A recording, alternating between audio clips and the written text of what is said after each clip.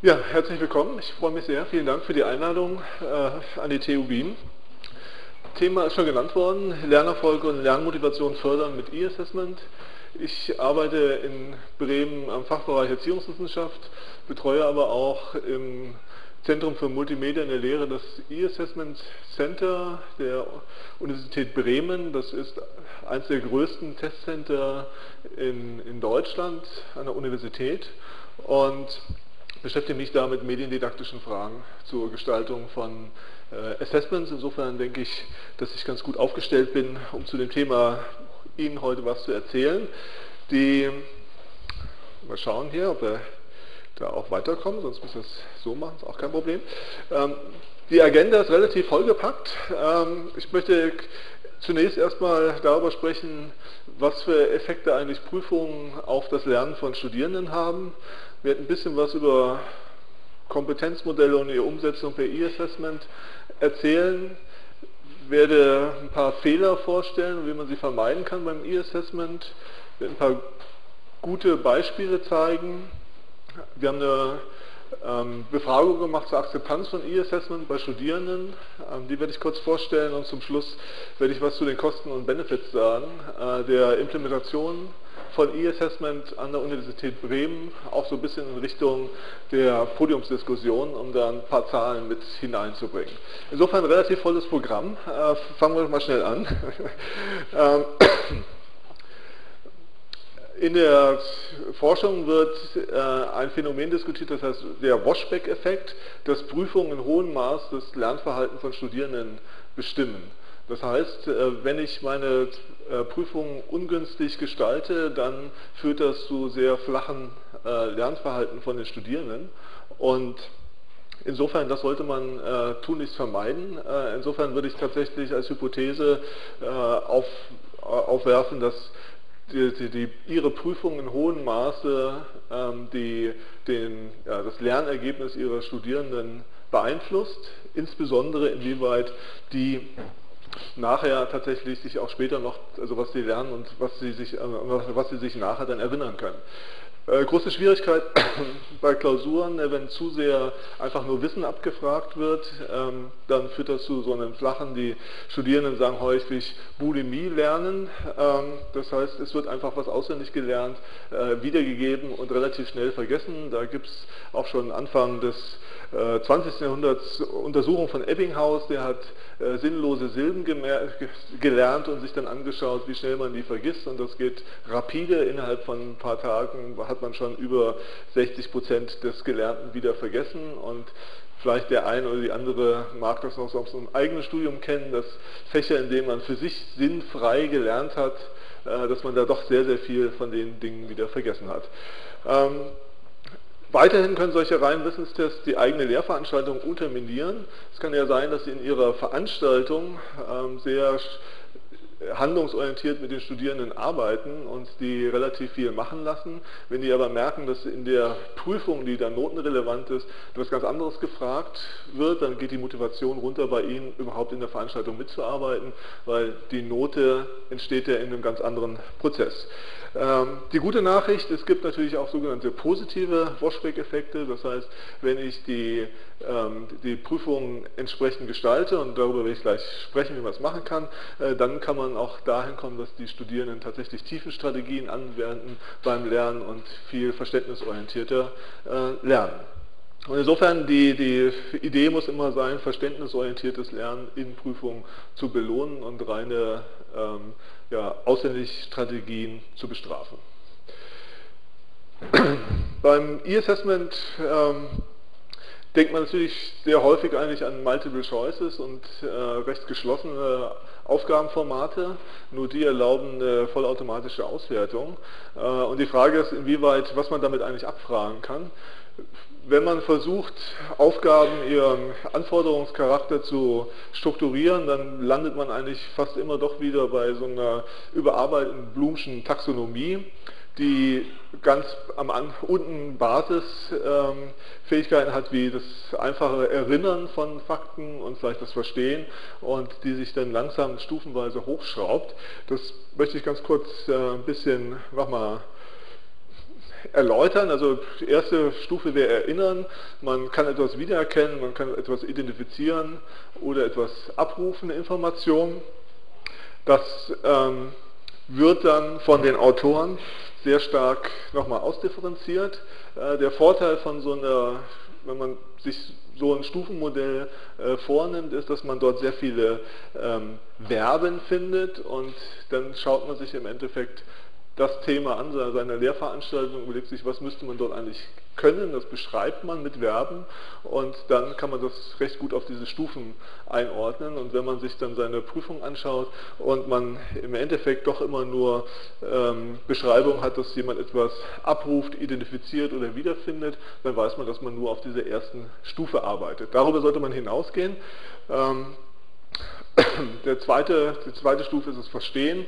Hier sind recht viele Verben wie klassifizieren, zusammenfassen, Dinge vergleichen, äh, Dinge erklären, kleine Modelle konstruieren, Dinge darstellen.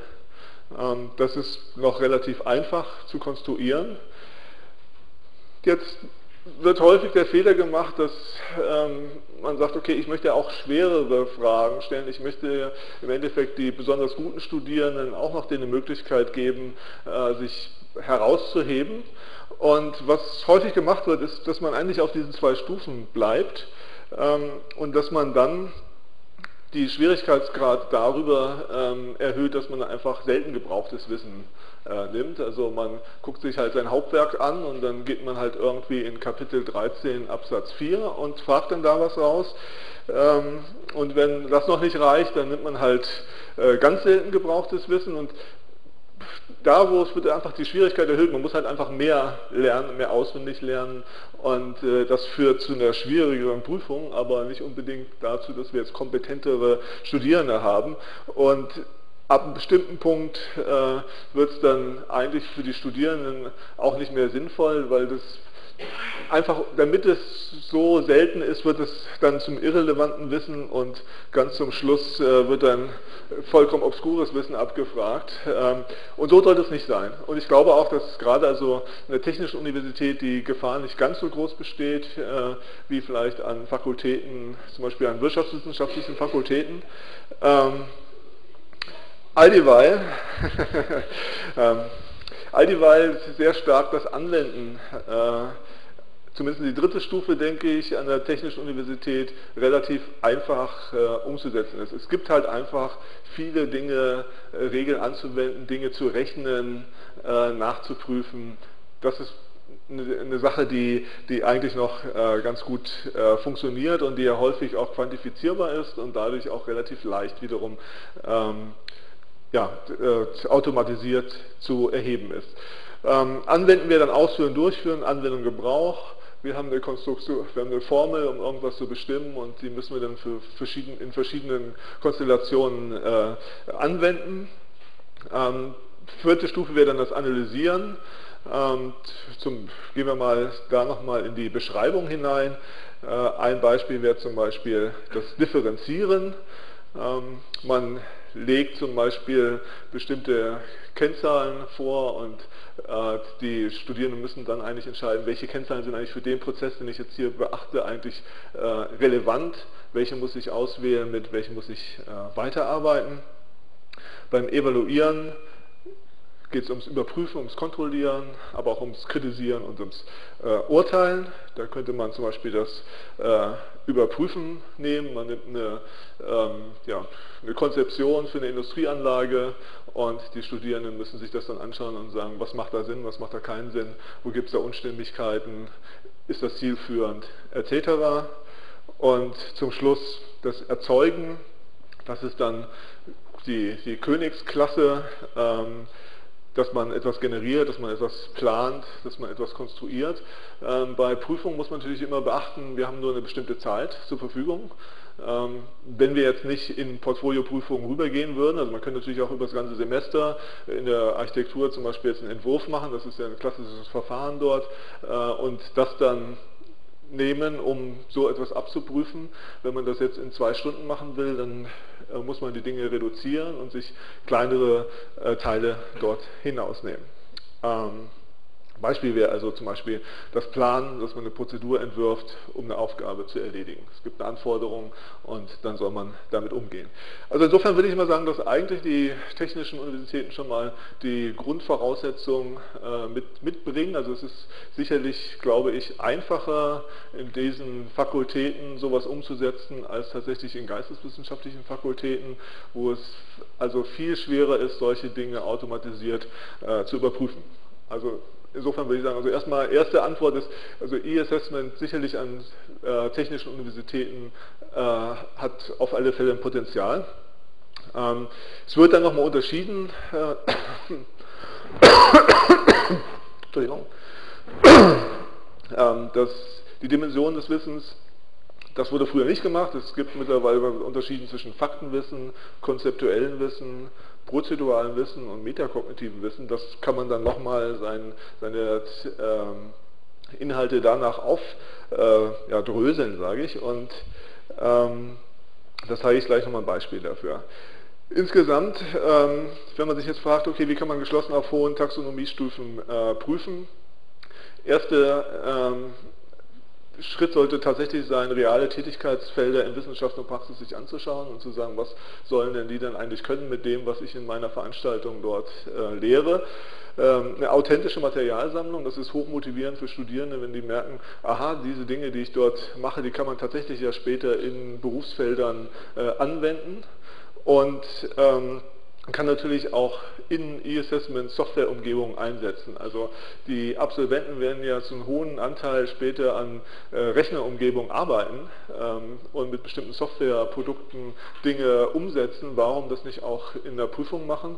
Das muss man natürlich dann vorbereiten. Also es ist recht unrealistisch, eine komplette, zum Beispiel in R, in der Statistiksoftware, eine komplette ähm, ja, Prozedur umzusetzen, sondern da wird man sicherlich eher ähm, einen ja, vorgearbeitete Source Code geben, den man dann zum Beispiel überarbeiten muss, anpassen muss, ähm, debuggen muss, etc. Ähm, also das ist eine ganz spannende Möglichkeit, auch E-Assessment einzusetzen.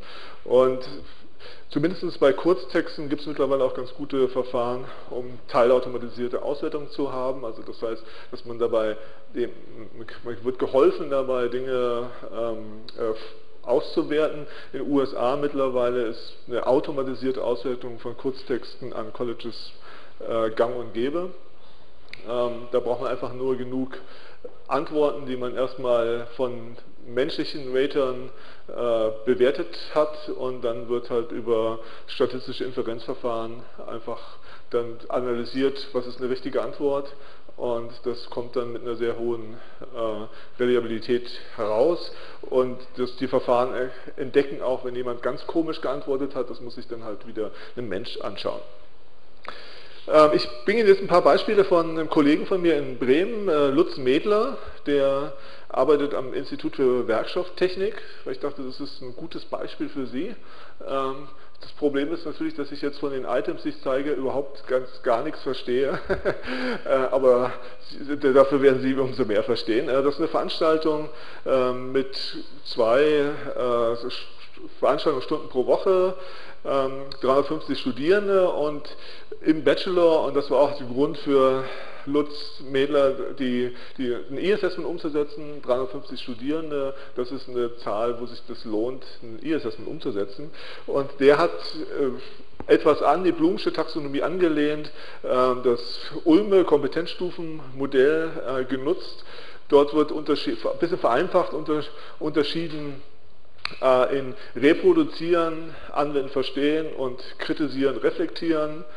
Ähm, und da werden auch wieder Fakten, Konzepte und Prozeduren unterschieden, die dann nochmal unterschieden werden. Und da gibt es dann so verschiedene Anteile, wie viel das sein soll. Darüber kann man so ein bisschen streiten, das ist auch das Konzept ist in der eher in der Berufsausbildung ähm, entwickelt worden. Äh, dennoch gibt es erstmal eine ganz gute Struktur, eine, An, ja, eine, eine, Idee, wo man eigentlich hingehen will mit seiner Prüfung. Und ich werde jetzt einfach ein paar ähm, Items von ihm, also ein paar Fragen, äh, Klausurfragen vorstellen. Äh, das erste hier geht es einfach um einfaches Konzeptwissen, äh, organisatorisches Konzeptwissen zu reproduzieren. Und was man jetzt hier sieht, ist eine äh, Tabelle und ähm, eine, ein Wert ist gegeben worden und dann hat man hier lauter andere Werte und Maßzahlen und, und, Einheiten und soll die nun in diese Tabelle äh, einfügen an die richtigen Stellen. Ähm, das heißt, man muss das eigentlich wiedererkennen, was gehört eigentlich wohin, was ist, was ist überhaupt die richtige äh, Maßeinheit für Dichte, für Wärmekapazität und so weiter und so fort. Ähm, das ist also im Endeffekt auf der untersten Stufe, äh, was man so äh, machen können soll. Dann gehen wir so eins weiter, Konzeptwissen, organisatorisch anwenden, verstehen.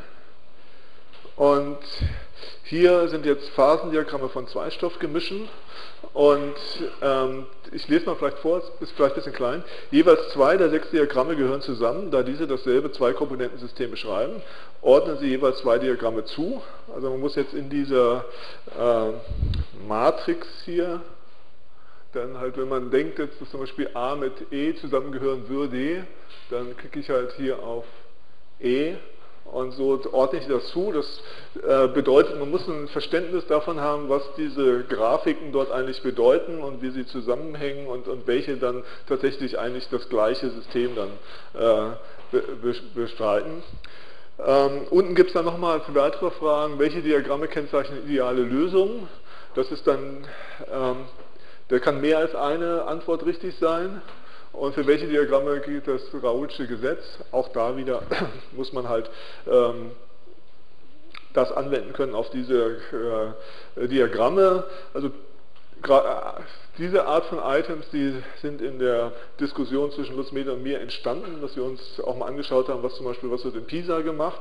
Und äh, wir haben dann gemerkt, dass eigentlich Diagramme eine ganz gute Möglichkeit ist, weil die, über Diagramme muss erstmal was verstehen, was dort äh, dargestellt wird. Und dann kann man neue Diagramme äh, gestalten. Also die, die, Diagramme wurden auch nicht in der Vorlesung in dieser Form halt dargestellt, das ist auch wichtig, sonst wird es sofort zu einer rein auswendig Lernaufgabe. Wenn man das halt, sonst gibt es einfach viele Leute, die nehmen sich egal, 60 Diagramme können Sie dorthin machen, hin, äh, darstellen in Ihrem Skript und dann fangen die an, 60 Diagramme auswendig zu lernen, anstatt das Prinzip dahinter äh, zu verstehen. Genau, und auch hier ist es äh, ähnlich äh, Konzeptwissen verallgemeinern, anwenden und verstehen. Und auch da gibt es wieder bestimmte äh, Diagramme zu verschiedenen Stoffen, A, B, C und D. Und dazu gibt es dann Fragen. Ähm, und da muss man einfach so ein Diagramm lesen können äh, und entscheiden können, welches von diesen Diagrammen dann äh, tatsächlich eine Aussage äh, zugeordnet ist. Und auch diese Fragen sind wieder nicht in der, also diese Diagramme in der Form sind, waren sie äh, nicht im Skript. Ähm, Prozedurwissen, Techniken, Methoden anwenden, verstehen, jetzt geht es schon bis, oder relativ hoch eigentlich schon.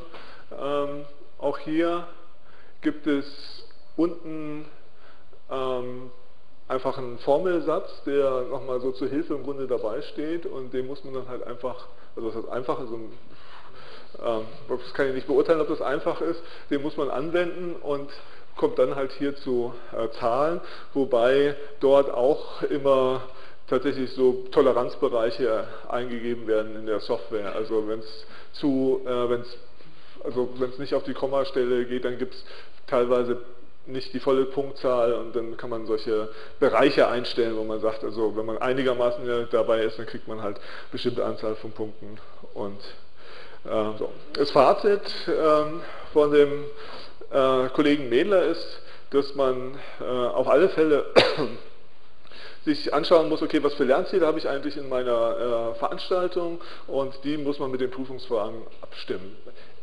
irgendwie vollkommen eigentlich selbstverständlich, aber dennoch ähm, wichtig, einfach nochmal sich anzuschauen, was habe ich denn alles in meiner Modulbeschreibung dort stehen, was will ich erreichen und das muss auch alles in der Prüfung vorkommen, denn sonst fangen die Studierenden an zu sagen, die zwei Vorlesungstermine, die kannst, brauchst du gar nicht hingehen, das wird überhaupt nicht abgefragt äh, und so weiter und so fort. Ähm, er sagt, dass es ganz wichtig ist, nach dem Wie immer zu fragen und nicht nach dem Was. Und äh, auch nicht nach was ist korrekt, sondern vor allem warum ist eine Antwort richtig. Ähm, also mehr in dieses Erklären äh, kommen, dass man äh, Dinge argumentativ äh, erläutern kann und das kann man in Grenzen auch äh, über über Multiple Choice abstimmen. Und nochmal hier, nochmal ganz wichtig, Abbildung kann man nicht aus den Vorlesungen übernehmen, sonst wird es zu einer reinen Auswendiglernerei. Ähm, die Vorteile, die er nennt, sagt, klar, schnelle Auswertung bei einer hohen Teilnehmerzahl, 350 äh, Teilnehmer, wenn ich tatsächlich alles vollautomatisiert habe, dann äh, ist das innerhalb der Abgabe ausgewertet, sozusagen. Äh, die Studierenden sehen zumindest schon mal, wie viel Prozent sie richtig haben. Dann wird nochmal angepasst, bei wie viel Prozent dann tatsächlich bestanden ist und wo nicht bestanden ist. Äh, es gibt keine Probleme mit Lesbarkeit bei Freitext, also in den Geisteswissenschaften tatsächlich haben wir viele Kollegen, die machen auch E-Assessments, aber nur mit Freitexten, aber die sagen einfach, ich kann ungefähr 30% schneller die Texte lesen, als wenn Personen mit Krakelhandschrift dort äh, 20 Seiten vollschreiben und ich das dann dechiffrieren muss. Äh, und das ist tatsächlich ein Vorteil. Ähm, man kann kleinteilig prüfen, das kann ein Vorteil sein. Und äh, was besonders gut ist, dass man eine Qualitätssicherung der Prüfung machen kann. Äh, wir also das System ist so aufgebaut, dass es immer Pools gibt, Fragepools, aus denen wird zufällig gezogen und da muss man natürlich dann nachher sich anschauen, waren diese Fragen ungefähr gleich schwierig. Ähm, man sieht auch, ob bestimmte Fragen überhaupt nicht funktionieren. Wenn ich eine Frage habe, die selbst gute Studierende zu hohen Prozentzahlen nicht beantworten konnten, dann habe ich irgendwas, habe ich ein Problem mit dieser, dieser Frage. Oder ich habe mir vorgestellt, ich will irgendetwas anwenden lassen und plötzlich was so relativ hohes Niveau hat und plötzlich haben alle das richtig, dann habe ich irgendwo in meiner Frage irgendeinen Hinweis darauf gegeben, sodass es viel einfacher zu beantworten ist, als ich eigentlich dachte. Es gibt natürlich auch Nachteile. Es ist auf alle Fälle sehr zeitintensiv, sehr gute Fragen zu machen.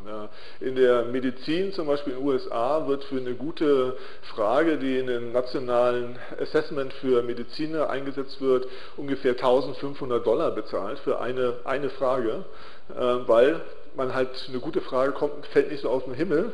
Äh, insofern, und man sieht ja auch PISA zum Beispiel, äh, da wurde auch sehr viel Aufwand in diese Fragekonstruktion gesteckt. Und jetzt machen wir Lehrende das halt plötzlich selber. Äh, man muss dort schauen, inwieweit man tatsächlich Autorenkollektive bildet. Also Großteil von solchen Klausuren wird ja in Bachelor, in Grund, Grundveranstaltungen eingesetzt werden, äh, wenn man so geschlossen prüfen will. Das heißt, man müsste eigentlich dahin kommen, dass man sich mit Kollegen doch absprechen kann, was ist so ein Kanon äh, innerhalb der Grundausbildung. Und gerade in den technischen Bereichen, glaube ich, ist es auch leichter möglich, als wenn man jetzt im Bereich äh, Philosophie oder äh, anderen Bereichen dann sich da einigen müsste. Das ist vielleicht ein bisschen schwerer. Ähm, als nachteilig wird von Herrn Miller äh, gesagt, dass man für diese Beantwortung dieser Fragen äh, doch sehr exakte Deutschkenntnisse äh, notwendig hat. Wir haben einen sehr hohen Anteil an internationalen Studierenden. Vielen Dank sehr hohen Anteil von äh, internationalen Studierenden, äh, auch aus China zum Beispiel, und die haben große Probleme, weil in solchen Antworten also es sehr genau darauf ankommt, dass man wirklich das ganz genau versteht. Nicht nur so ungefähr da, dadurch die Tür, sondern sehr genau. Und da gibt es ein bisschen Probleme.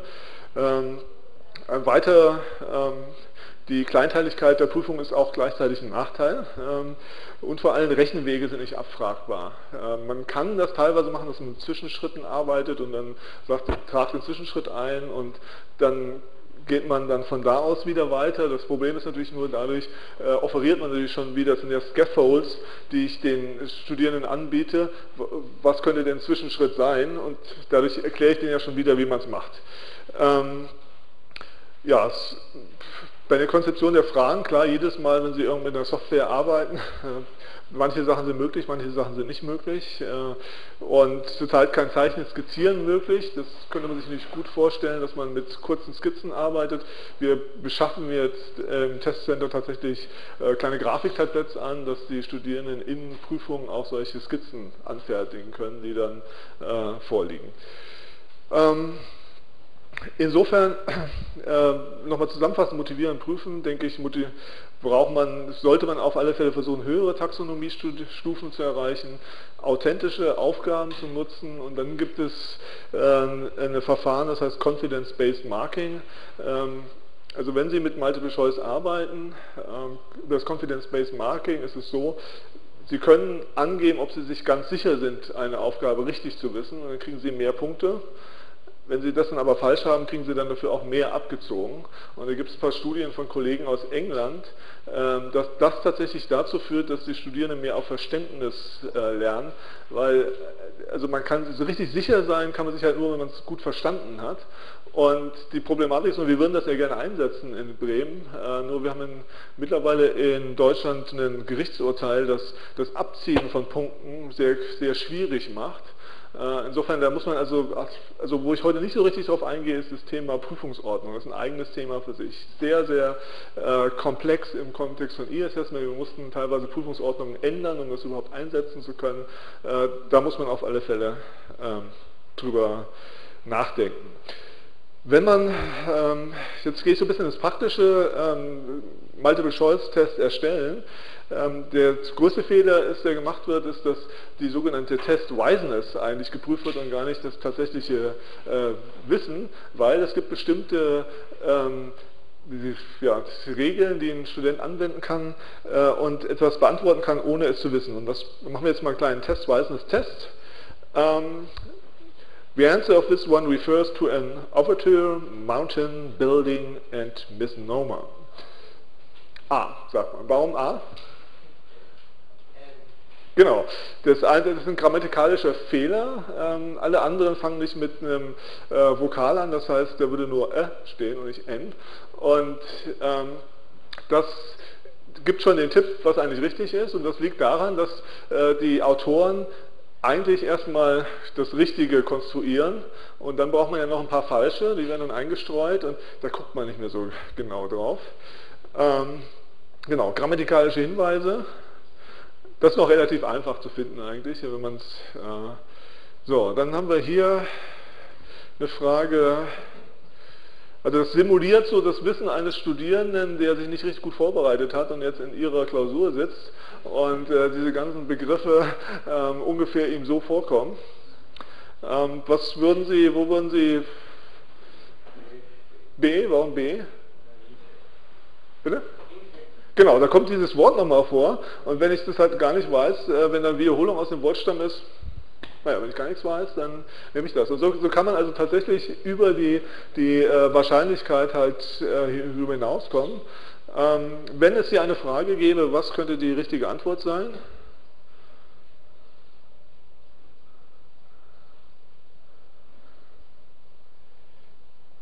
Es ist nur eine richtige, das ist das jetzt hier. B. Warum B?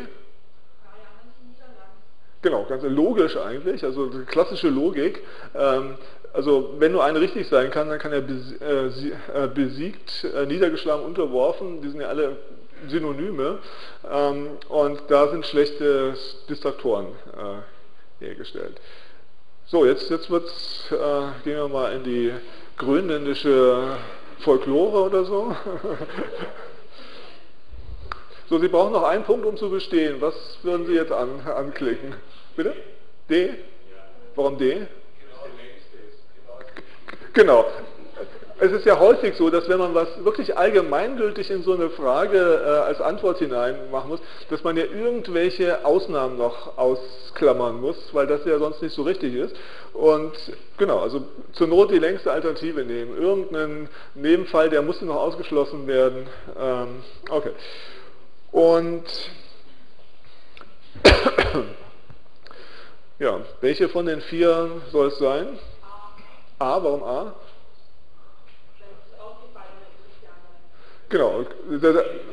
B, C, D ist, ist alles Commonwealth, Nepal nicht.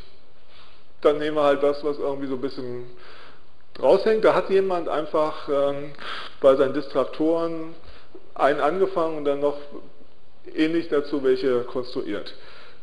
Ähm, das ist so ähnlich wie beim Grammatikalischen. Was ist hier das Richtige? C. Warum? Genau.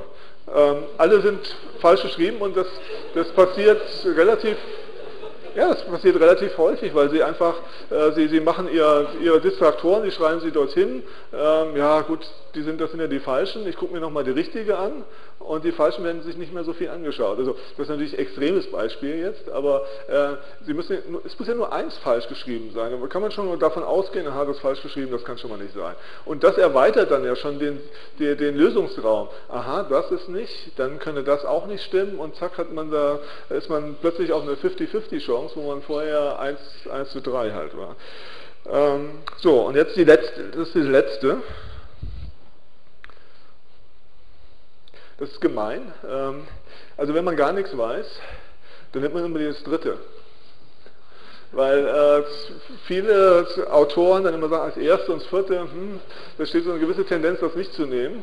Ähm, also bei unser System zum Beispiel wird es gemischt, einfach jedes Mal. Also jeder Student hat das auch anders. Also selbst wenn zwei Studenten nebeneinander sitzen und die zufälligerweise gerade dieselben Items hätten, sind trotzdem die Antworten noch normalerweise vermischt. Wobei beim Lutz Metaforen, bei diesen Aufgaben kann man das nicht machen, aber insofern ähm, also es gibt sozusagen für Studierende so richtige Sheet, Sheets fürs Testwiseness, äh, wie geht man da vor und da kann man seine äh, Ratewahrscheinlichkeit bei schlecht konstruierten Multiple Choices deutlich erhöhen.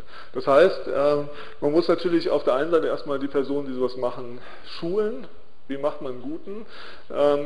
Man kann zum Beispiel auch mit übersaturierten Multiple-Choice-Auswahlen arbeiten. Das wird mittlerweile viel in Medizin gemacht. Dort wird zum Beispiel gefragt nach einer bestimmten Medikamentengabe und da muss man ein Medikament auswählen. Man hat dann aber den kompletten, so einen kompletten Katalog von 1000 Medikamenten und da muss man im Grunde eigentlich wissen, wie das heißt und dann sucht, sucht man sich das nur noch raus aus dieser Tausenderliste. Äh, da ist halt nichts mehr mit irgendwie Raten. Also die Ratewahrscheinlichkeit geht gegen Null. Ähm, ganz wichtig sind halt gute Distraktoren. Also Distraktoren sind idealerweise eine falsche Antwort, die aber wahnsinnig plausibel erscheint. Und wie kommt man zu Distraktoren? Ähm, also am besten macht man erstmal äh, die, die Klausuren in offenen Durchläufen und schaut sich das dann an, was die Studierenden da schreiben. Und die Sachen, die häufig kommen, die aber falsch sind, das sind gute Distraktoren. Weil das irgendwie scheinbar für Studierende plausibel ist, dass das richtig ist. Und äh, so geht man davor. Und nochmal dieses Confidence-Based Marking, das ist auch eine Gegenmaßnahme. Ähm, genau. Mhm. Genau. Schulung der Autoren ist also sicherlich eine ganz äh, wichtige Sache. Ansonsten, es gibt natürlich eine wahnsinnige Menge an verschiedenen Item-Formaten. Die Kollegin Kathleen Skelaisi von der Universität in Oregon, die hat versucht, das mal so ein bisschen äh, auf, aufzudröseln. Ich zeige mal so drei, vier kleine Beispiele. Das wäre so ein ganz Ganz einfach ist erstmal, ähm, dass die Nahrungs äh, Ernährungspyramide ist nämlich vollkommen falsch dargestellt und jetzt kann man erstmal sagen, äh, ist das richtig oder falsch? Okay, einfache Frage. Aber dann äh, wird danach nochmal gefragt, warum äh, hast du denn jetzt Nein gesagt? Äh, warum ist denn das jetzt eigentlich genau falsch? Und da wird es dann schon ein bisschen differenzierter in der Analyse dessen, ähm, was, was da eigentlich falsch ist und was nicht. Also da kann man dann besser abtesten, ob jemand eigentlich das Grundprinzip von Ernährungspyramide verstanden hat. Finden Sie mal auf den Kelloggs-Packungen hinten, da steht dann immer ganz viel Kelloggs-Essen. Ähm, das ist so ein Beispiel, ähm, da wird einfach, das ist eigentlich sehr simpel, man hat hier ein Modell und soll jetzt sagen im Endeffekt, okay, irgendwas ist hier falsch an diesem Modell und das soll man identifizieren und klar, ähm, es kommt kein Licht aus den Augen, sonst sehen wir irgendwie so ein bisschen komisch aus, äh, ein bisschen unheimlich, sondern das Licht wird natürlich vom Baum reflektiert und landet dann in unseren Augen. Und sowas kann man sich jetzt größer vorstellen. Sie können natürlich irgendeinen Schaltplan darstellen und sagen, okay, ich habe jetzt hier drei Feder versteckt ähm, und dann muss man die halt zum Beispiel identifizieren. Das ging ja zum Beispiel eigentlich äh, ganz gut. Hier werden Kurz, äh, Kurztextantworten verlangt, auch wieder im Endeffekt ein grafischer ähm, Stem, also das hier, was ist die Aufgabe, worum geht es? Man hat, ein, hat eine ähm, schlechte Darstellung von, von der Größenverteilung in, in der Klasse und muss dann halt was dazu schreiben. Ähm, gibt dann so Dinge wie wo man eine Art Mindmaps ähm, oder Strukturmodelle darstellen muss. Ähm, das ist gar nicht so leicht. Also ich zum Beispiel habe gemerkt, wo ich mir das mal angeschaut habe, dass ich gar nicht so viel weiß überhaupt über das äh, System in den USA. Ähm, dann kam auch wirklich nur Quatsch raus bei mir. Also wenn man so eine Struktur aufbauen muss, kann das relativ äh, komplex werden, aber prinzipiell ist das natürlich dann auch eher eine, eine ja, Wissensabfrage. Ähm, auch hier, das sind dann so Sachen, die wie der Herr Medler sie dann auch eingesetzt hat, dass man dann zu einem äh, so, so eine Aufgabe mehrere Aussagen äh, hat, die man dann ähm, ja, ähm, beantworten soll. Das ist ein Beispiel für den Versuch, es gibt auch gibt mittlerweile mehrere Systeme, die versuchen, das Thema Beweisführung ähm, um, umsetzbar zu machen, wo man einfach, ein, also zumindest den Ablauf dann dort äh, hineinzieht. Die Problematik ist natürlich immer, dass bei diesen, äh, bei solchen, also sobald man halt, also es gibt natürlich auch viele Leute, die lernen einfach Beweisführung auswendig. Ähm, das ist insgesamt ein großes Problem, weil in der Klausur eine Beweisführung von etwas zu verlangen, was man noch nie bewiesen hat, was man noch nie in der Übung gemacht hat, ist sehr herausfordernd, würde ich mal sagen. Äh, und also da hat man immer die Gefahr, dass die Personen eigentlich die Sachen dann auswendig äh, lernen. Also gerade bei Beweisführung, finde ich, gibt es relativ wenig Varianten in der Aufgabenstellung, die, die, die man dann, die, womit man die dann in eine Klausur hineinbringen kann. Bei einer Anwendung im Kontext von, äh, von, von Verfahren ist das eigentlich einfacher. Und das ist ein typisches Beispiel einfach für eine offene Textantwort. Ähm, es gibt, wenn man sich jetzt in die, in die in, jetzt mal sich ein bisschen löst von diesen äh, Multiple-Choice-Fragen, gibt es relativ viele äh, Möglichkeiten, ähm, noch darüber hinausgehend zu prüfen. John C. D. Brown, ähm, langjähriger Leiter des Xerox Park und ein äh, ja, auch Ingenieur, ähm, der, hatte, der sagt immer, das Wichtigste ist eigentlich, äh, man soll nicht mehr den Leuten lehren über etwas, sondern man soll den Leuten lernen, etwas zu sein. Also wenn ich halt jetzt Verfahrensingenieur bin und Verfahrensingenieure ausbilde, dann sollte ich denen zeigen, was macht eigentlich ein Verfahrensingenieur und sollte die dahin bringen, dass sie das machen können. Also das sind diese authentischen äh, Dinge. Und wir haben versucht, mal auch diese E-Assessments in Gestaltungsdimensionen auf, äh, aufzudröseln. Und wir denken, also was interessant ist mittlerweile durch den Rechner, man hat ja jetzt nicht nur einfach einen Text mit ein paar Checkboxen, das wäre ja das, was man auf dem Papier machen kann, sondern was ist eigentlich jetzt das, was jetzt neu dazukommt.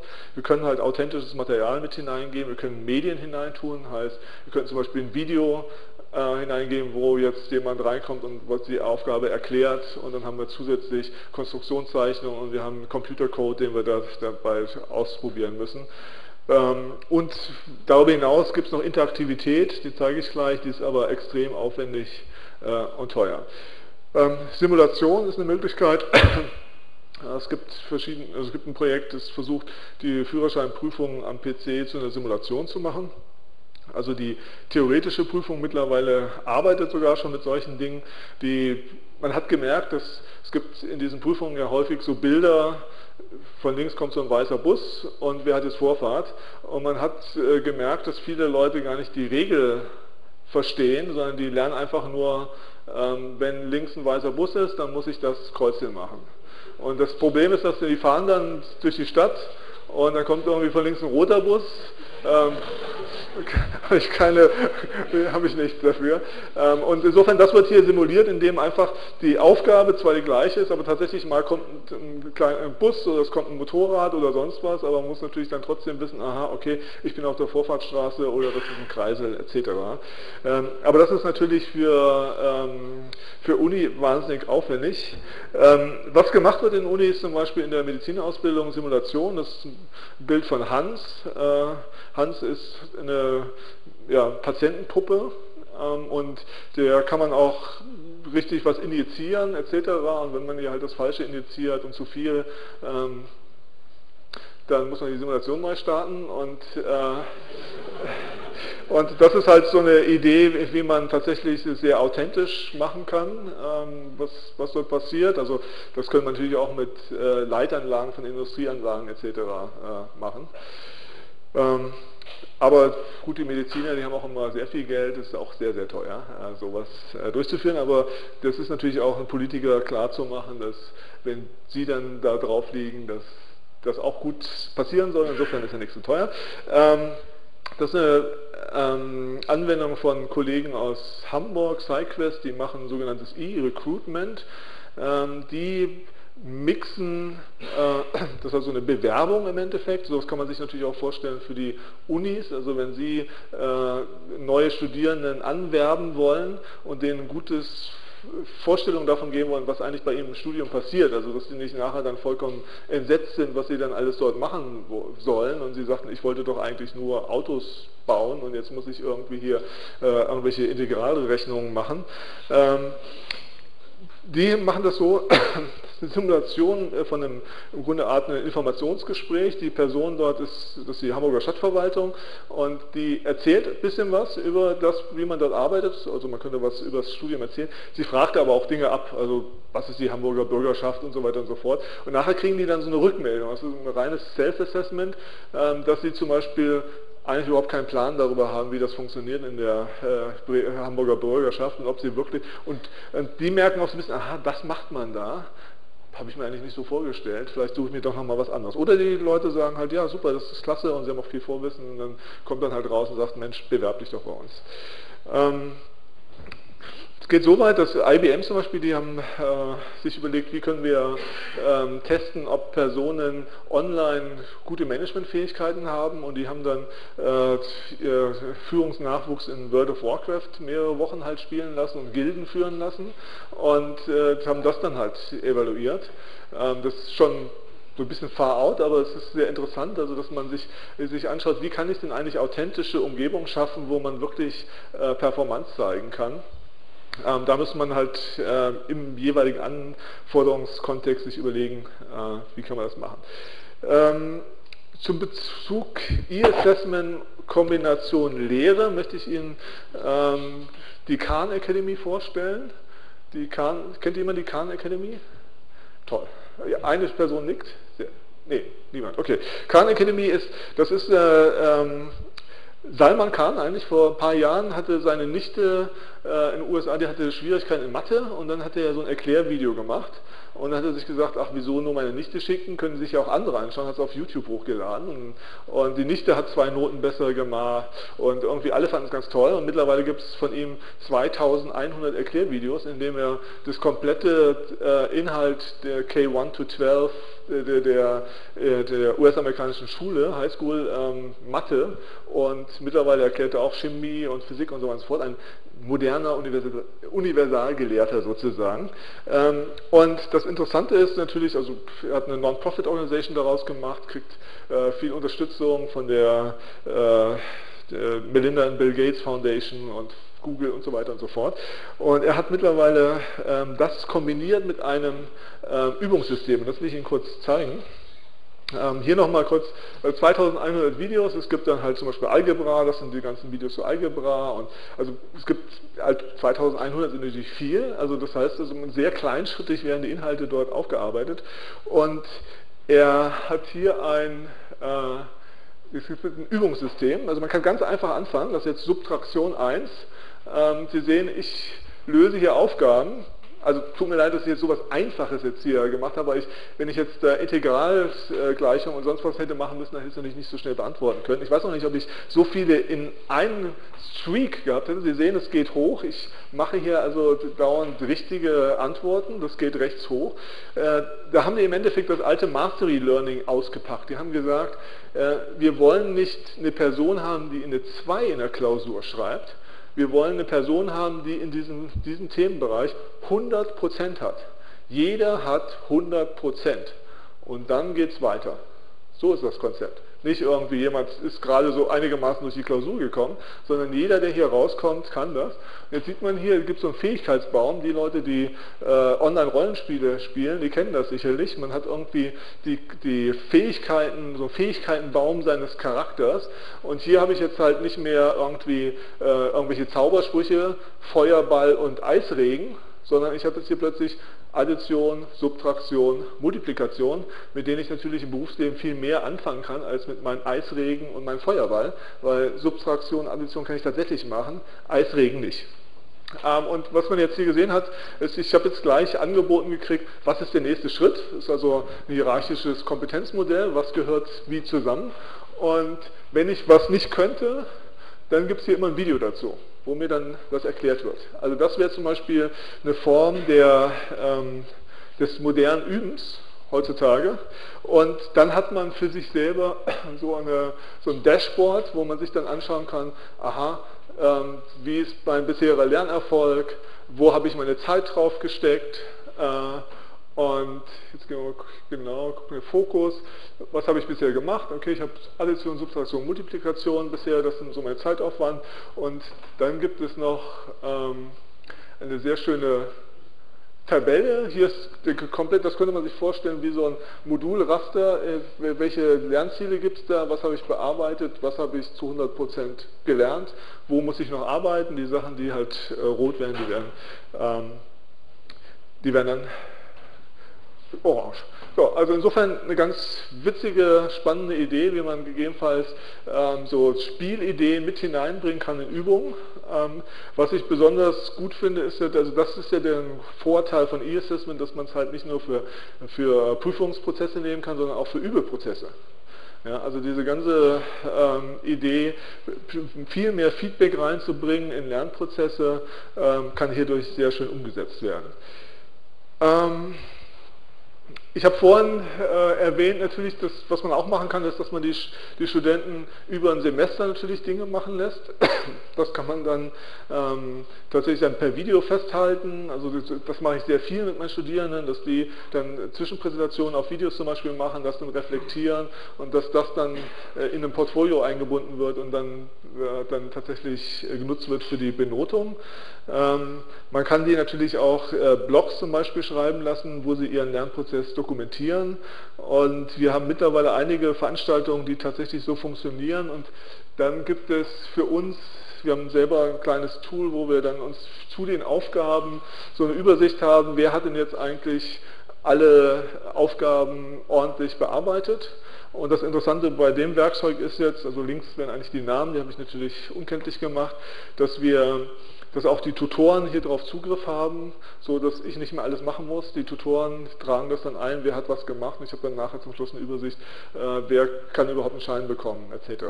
Also das sind ganz, äh, also auch da gibt es Möglichkeiten, E-Assessment sinnvoll einzusetzen. Weitere Beispiele für sowas sind, ähm, dass man Source Code nimmt, den lässt man analysieren, debuggen, ich gucke mal gerade, Analyse von Unternehmenskennzahlen, Interpretation von Laborwerten. Also eigentlich gibt es ganz viele Sachen, äh, die man machen kann und die besten Ideen kommen aus der Praxis der Anwendung. Also entweder in meinen Forschungskontexten, was müssen da die Studierenden eigentlich machen und, oder was müssen sie im, im Beruf machen. Abschließend möchte ich die Präsentation mit ein paar Daten aus der Uni Bremen. Wir haben ungefähr 20.000 Studierende, also eine mittelgroße Universität. Ähm, ungefähr 70 bis 115.000 Prüfungen pro Semester. Und die also einzelne Prüfungsleistungen. Und die Tendenz ist eigentlich eher steigend durch den Bachelor. Es wird eigentlich mehr geprüft. Und umgerechnet sind es ungefähr 500 Prüfungsleistungen pro Semester pro Professor. Und das ist halt so da fängt halt so die Schmerzgrenze irgendwie an, wo dann gesagt wird, okay, wir müssen das machen. In Bremen äh, haben wir so ein, so ein, so ein S-Fahrt zur Einführung von E-Learning-Diensten. Wir fangen eigentlich immer an erstmal einem Pilotprojekt. Ähm, diversifizieren das dann in die, in die verschiedenen äh, Fachbereiche und wenn wir dann genug Erfahrung damit gehabt haben, dann etablieren wir das und zum Schluss ist es dann institutionalisiert, äh, überall verfügbar als Dienst. Ähm, wir, haben in, wir haben in dem Zuge ein Testcenter eröffnet, Ende 2007, Das ist ein extra Raum an der Universität mit 120 ähm, Rechnern, also an denen Tests gemacht werden. Ähm, das Ganze läuft, dann läuft eine Software L+, das ist eine Entwicklungspartnerschaft eingegangen worden mit einem äh, lokalen Softwareprovider in Bremen. Die machen auch Tests für Privatpiloten-Tests. Äh, die haben sehr viel Erfahrung damit, was passiert, wenn der Client kaputt geht und man auf einen anderen Client gehen muss, weil der Rechner halt kaputt ist, oder was passiert, wenn der Server nicht da, nicht mehr da ist und kann das trotzdem weitergeführt werden, weil die, die Problematik ist, die Studierenden sind natürlich, das ist eine Prüfung und das ist sehr wichtig für sie und da darf einfach technisch nichts, aber auch überhaupt nichts schiefgehen. Weil sonst hat man sofort Asta und alles mögliche. Also dann hat man keinen Spaß mehr. Ähm, hier sieht man so ein bisschen, okay, wie sieht das aus, die, die Software, wir haben sie Usability befragt, die Studierenden sind ganz zufrieden damit, äh, so sieht das dann aus. Also man sitzt sehr nah, aber das macht nichts wirklich, weil die, weil die Fragen ja ähm, durcheinander gewürfelt äh, werden. Hier sieht man mal ein paar Leute, die es austesten, das sind keine echten Studierenden. Ähm, und daneben ist ein Serverraum, wo die, die ganzen Server dann stehen. Und das ist nochmal hier ähm, die, der Plan. Hier sieht man die Technik. Ähm, das heißt, dieses ganze System kann auch komplett vom Internet runtergenommen werden und es gibt halt so verschiedene Sicherheitsmaßnahmen, dass sich dann jemand einhackt und dann irgendwelche ähm, ja, Aufgaben manipuliert oder eigene Ergebnisse. Ähm, es gibt eine relativ breite äh, ja, Angabe von, von möglichen Item-Formaten. Das geht halt von ganz unten halt den, den Single Choice bis zu den Freitextfragen und äh, was zusätzlich ganz spannend ist, dass wir halt tatsächlich äh, Multimedia, also Videos, Audio anbieten können. Wir können Software tatsächlich nutzen und es gibt auch einen kontrollierten Internetzugang. Ähm, insofern bietet das System schon relativ viel, aber wir müssen mal schauen, ob wir weiter die Entwicklungspartnerschaft ist über ein paar Jahre geschlossen. Jetzt schauen wir mal. Äh, mittlerweile entwickelt sich natürlich auch viel im Open Source Bereich. Ein paar Statistiken, ähm, wie viele Prüfungsleistungen insgesamt. Also äh, wenn jetzt hier zum Beispiel Wintersemester, die Wintersemester sind immer ein bisschen mehr, fünf, ungefähr 5000 Prüfungsleistungen. Das heißt, es sind jetzt nicht 5000 Klausuren, sondern es sind 5000 Studierende, die dort äh, eine Prüfungsleistung äh, durchgeführt haben. Hier sieht man die Veranstaltung mit E-Klausuren, äh, aktuell 45 Veranstaltungen an der Universität Bremen, die das genutzt haben. Ähm, Prüfungstermine, hier sieht man natürlich hohe saisonale Erhöhungen durch die, ähm, ist klar, wann werden Klausuren geschrieben, die werden halt vor allem am Ende des Semesters geschrieben. Da versuchen wir noch irgendwie dahin zu kommen. Also in den USA gibt es zum Beispiel sogenannte Walk-in-Prüfungen. Da kann man dann sagen, heute ist mein Lucky Day, heute gehe ich in die Verfahrensprüfung oder so, oder die Matheprüfung. Ähm, das haben wir bisher noch nicht hingekriegt.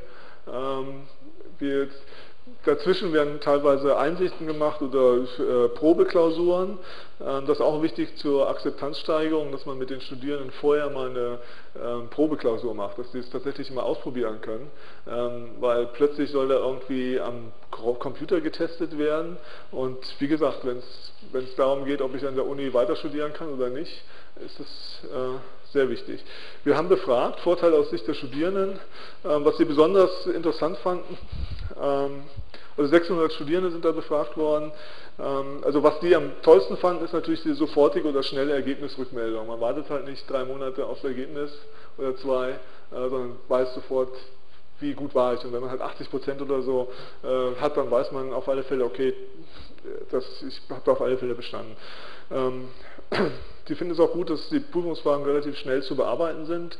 Das System ist so, dass man auch zwischen den Prüfungsfragen hin und her springen kann. Ähm, und ja, der Rest dann der, ähm, der, der, der Themen, da wird dann zum Beispiel auch gesagt, dass sie es ganz gut finden, dass eigentlich eher weniger Formulierungsprobleme da sind äh, dank MC. Man muss halt nur was ankreuzen, man muss nichts schreiben. Äh, ein geringerer Schreibaufwand, also es ist einfach äh, insgesamt ein bisschen ähm, ja, einfacher. Ähm, man kann einfach, Eingaben einfach ändern, umstrukturieren löschen. Und die Möglichkeit zum Raten wurde gar nicht so häufig gesehen ähm, oder die Studierenden haben nicht so ehrlich geantwortet. Kommt so ein bisschen auf die, die, äh, die, die Klausuren an. Ähm, was sind Nachteile? Also wir haben damals eigentlich schon unserer Meinung nach die leisesten Tastaturen gekauft. Das waren nicht diese alten IBM-Tasten mit diesem Klack, Klack, Klack-Punkt. Äh, und trotzdem äh, muss man einfach sich vorstellen, 120 Leute sitzen in einem Großraumbüro und äh, hämmern auf irgendwelchen Tastaturen rum. Und in der, noch in der Prüfungsanspannung ist man ja auch vielleicht noch ein bisschen energetischer unterwegs. Ähm, das heißt also, wir haben jetzt, wir haben ja letztes Jahr den Medida Prix fürs E-Learning Center gewonnen. Teil des Geldes geht tatsächlich jetzt in neue Tastaturen, die nochmal leiser sein sollen. Schauen wir mal, ob das besser wird. Was natürlich negativ, äh, also gerade weil das vor allem geschlossene E-Klausuren waren, keine eigene Begründung, Darstellung und Ideen. Das nervt die Studierenden natürlich auch und teilweise fühlen die sich halt auch äh, nicht ernst genommen, wenn sie irgendwie sagen, ich muss jetzt dieses große Thema lernen und so und das soll dann zum Schluss über ein Kreuzchen abgefragt werden, hm, ist, das, ist das so richtig? Ja. Also insofern muss wirklich viel Aufwand stecken in, in interessante Fragen. Und, ähm, und dann natürlich auch, dass die Lösungswege nicht äh, berücksichtigt werden und bewertet werden. Das ist auch, auch ein Thema. So hat man früher immer gesagt, naja, aber da habe ich mich dann verrechnet, aber das ist doch irgendwie richtig und da kann man doch einen, einen Punkt rausholen. Äh, das ist dort äh, schwierig. Also insofern ähm, sind das schon so Sachen, die man eigentlich äh, erwartet hat. Äh, muss natürlich hier sehen, also das sind jetzt hier 20 Prozent, also ungefähr 15 Prozent äh, sagen dann tatsächlich zu viele Wissensfragen, die das Bulimie-Lernen fördern. Also insgesamt äh, muss man natürlich sagen, das hängt immer natürlich an den Klausuren ab. Es gibt Klausuren, wo das von den Studierenden gar nicht gesagt wird und es gibt Klausuren, da sagen 30 oder 40 Prozent der Studierenden das. Da muss man natürlich einfach sagen, dass, da, da ist einfach schlechte, schlechte Klausuren gestellt worden. Vorteil aus Sicht der Lehrenden, ähm, also vor allem die Zeitersparnis. Ja. Wobei man natürlich sagen muss, wenn das Ding mal im Kasten ist und es läuft und ich dann so dann nur noch meinen Itempool ergänzen muss, währenddessen, ähm, währenddessen der Initialaufwand extrem hoch ist. Und wenn man, wenn man schlechte Fragen stellt, sondern sehr viel zum Beispiel Kurz-Freitext, Wissensabfragen macht, die sind ganz schnell verbrannt, diese Fragen. Weil das kann man sich einigermaßen merken. Nach der, nach der Klausur sofort auf Facebook wird dann irgendwie hochgestellt, äh, dies und das und jenes, die Frage und so. Und dann ist, sieht man richtig in der Auswertung, wie, also das ist dann ein Tag, der nächste Tag wird ja die Klausur teilweise nochmal geschrieben, ist die Lösungswahrscheinlichkeit dann schon bei 60 Prozent und so. Und dann muss man diese Frage rausnehmen und dann hat es schon wieder eine Frage aus Itempool verloren. Ähm, okay, ähm, ansonsten auch, auch die Lehrenden sagen, keine Berücksichtigung von Lösungswegen und, und Folgefehlern ähm, ist möglich. Fazit zur Qualitätsverbesserung durch E-Klausuren, äh, die Objektivität, Ökonomie und direktes Feedback ist sicherlich gut gegeben. Äh, die Lernlenkung wird eher ein bisschen negativ gesehen, also der Washback-Effekt wenn es nicht gut gestaltet ist, führt es eher dazu, dass die Studierenden nicht gut lernen und äh, die Validität ist sehr unterschiedlich. Das liegt sehr stark daran, was dort eigentlich äh, abgefragt äh, worden ist. Wenn man Fazit jetzt ziehen will, aus unserer Sicht, drei Jahre Testcenter, ähm, also wir haben tatsächlich bisher noch keinen Ausfall gehabt in der, in der Prüfungssituation. Das liegt aber daran, dass die Sachen redundant ausgeführt sind und so weiter und so fort und wir ganz genaue äh, Workflows haben. Die können Sie bei uns auf der, Work, auf der Homepage runterladen, sich das anschauen, wie, wie machen wir das. Äh, wir haben drei Personen, die sich nur um dieses Testcenter ähm, kümmern. Ähm, und insgesamt ähm, man gewinnt Zeit, aber man muss sie auch wieder in gute Fragenkataloge hineinstecken. Also insofern würde ich sagen, wenn man die, nicht, die Zeit nicht in gute Fragenkataloge investiert, dann äh, es, wird es grenzwertig. Ähm, die, wo, wo, ich stark mit äh, involviert bin, ist halt diese prüfungsdidaktische Beratung und Qualifizierung, dass wir einfach, ähm, wir würden gerne sowas Zentrum nicht, aber zumindest einen Arbeitsbereich kompetenzorientiertes Prüfen einführen, wo wir einfach den Kollegen, Kolleginnen da einfach helfen können, bessere Prüfungen äh, zu machen. Zu den Kosten. Ähm, dieses, diesen Raum, den Sie dort gesehen haben, der Umbau hat ungefähr 300.000 Euro gekostet, diesen, diesen Raum äh, um, umzubauen. Ähm, die IT-Ausstattung haben wir über einen DFG-Antrag äh, finanziert. da haben wir, ähm, da gab's, haben wir also auch nochmal 300.000 Euro ungefähr investiert. Gesamtinvestition also über eine halbe Million Euro für diesen, diesen Raum ähm, mit 120 Testplätzen und drumherum halt auch. Das muss ja also, die Studierenden müssen an einer, an einer Seite so eine Schleuse hineinkommen und wenn sie die Prüfung gemacht haben, muss auf der anderen Seite ein Ausgang sein, wo die wieder rausgehen können, weil dann die anderen reinkommen. Das ist ein bisschen wie am Flughafen. Also es gibt noch keine Leibesvisitation, aber äh, ansonsten ist es schon, äh, muss man alle das auch tatsächlich dann umsetzen, äh, damit man es professionell äh, dann hat.